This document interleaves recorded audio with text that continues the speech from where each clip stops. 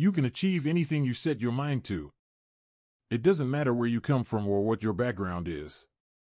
All that matters is that you're willing to work hard and never give up. Success is not for the faint of heart. It takes guts, determination, and an unrelenting desire to win. You have to be willing to take risks and put everything on the line. You have to be willing to fail and pick yourself up again, time and time again. But if you're willing to do the work, the rewards are limitless. You can achieve anything you set your mind to, whether it's starting your own business, climbing the corporate ladder, or becoming the best in your field. The key to success is perseverance. You have to keep pushing forward, even when it feels like the world is against you.